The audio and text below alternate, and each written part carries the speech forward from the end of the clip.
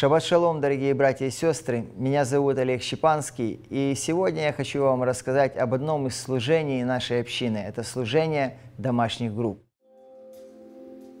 Как нам известно из книги «Деяний», что во время первоапостольской церкви верующие собирались по домам, где преломляли хлеб, принимали пищу, хвалили Бога, и Господь прилагал спасаемых к церкви.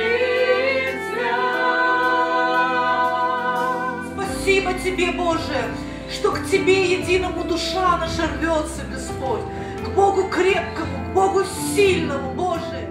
Параллельные домашние группы – это общины, община наша. И у нас также есть домашние группы, на которых мы в простоте и веселье славим Господа, изучаем Его Слово, молимся друг за друга и нужды общины, празднуем праздники Господни, принимаем участие в жизни друг друга, выезжаем на пикники. И Бог отвечает на наши молитвы.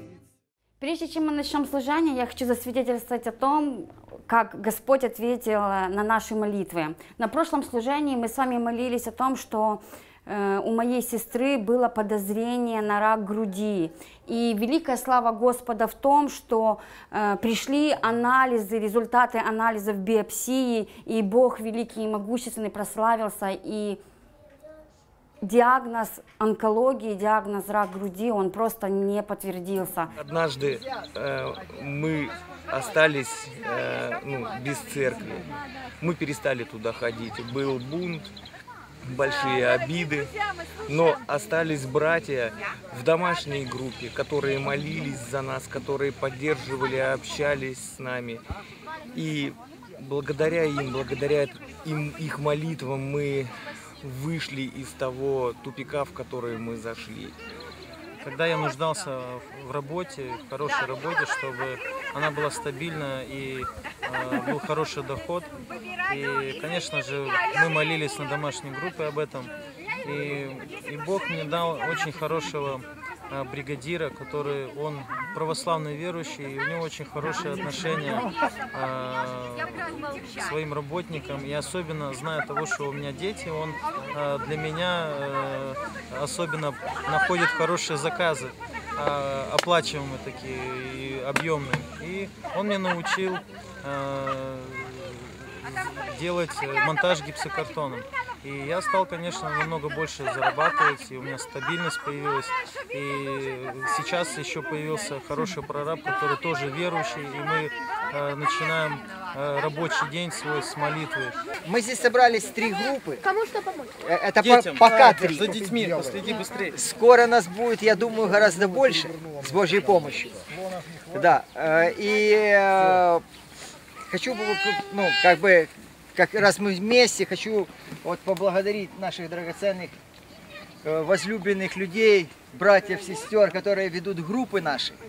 И э, для чего я попросил их выйти сюда? Потому что э, э, мы э, созидаем общину. Э, Бог определ- ну, поставил нас в свет Мессии для того, чтобы мы созидали Его тело в этой общине. И поэтому для нас, как участников служения домашних групп, важно знать, э, кто занимается параллельными группами. Потому что если вы знаете, что, к примеру, кто-то из людей, э, есть человек, который пришел в общину или, ходит в общину, хочет часть- стать частью этого служения, то можно подойти к Оле, которая э, центр города, у нее ближе к центру города, на Чкалова, э, Большая Арнаутская, 16. И э, Александр, он на поселке Котовск. Славьте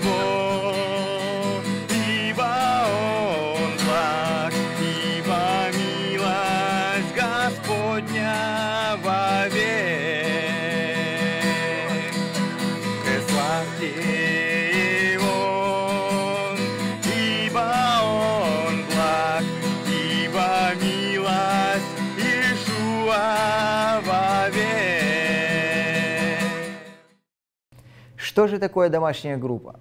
Домашняя группа – это семья.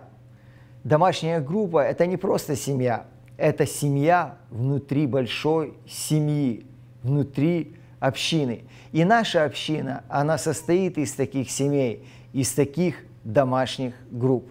И если вы хотите стать частью этого служения, если вы хотите приносить плод в Царстве Божьем, исполнять Его волю.